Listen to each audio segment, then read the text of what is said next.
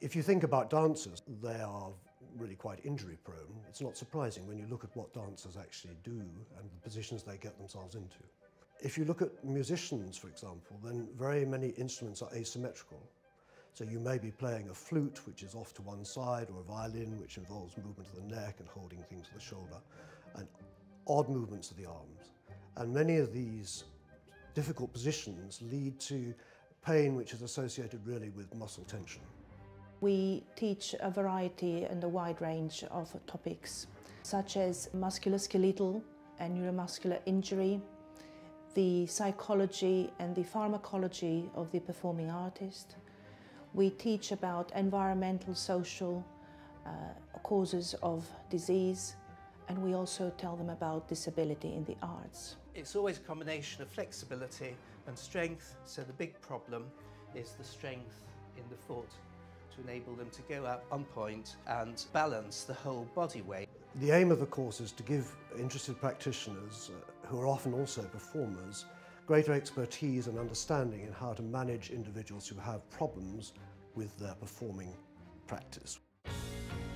I'm a physiotherapist from Iceland and I'm a postgraduate student at the Performing Arts Medicine program here at UCL.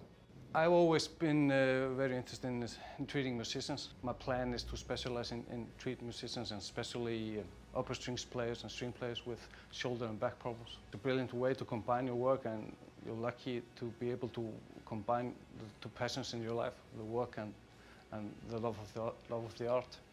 I love working as a GP, but this is an opportunity to combine sports medicine, occupational health and psychology um, really to, to help musicians in terms of well-being and um, continuity of care. So I'm really enthusiastic about that. We extend our teaching to the science of music and dance and we collaborate with the Royal College uh, of Music in London and also with the Trinity Laban Conservatoire of Music and Dance. We teach uh, the clinical management of the uh, voice which takes place at the Royal National Throat, Nose and Ear Hospital. A lot of our teaching takes place in the Institute of uh, Sport, Exercise and Health and we share a common interest with the postgraduate degree in sports medicine here at University College London.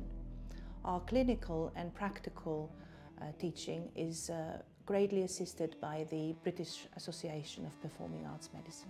It's an exciting course, still in its development, and we know that each individual gets something for him or herself which is particular to them out of being part of it.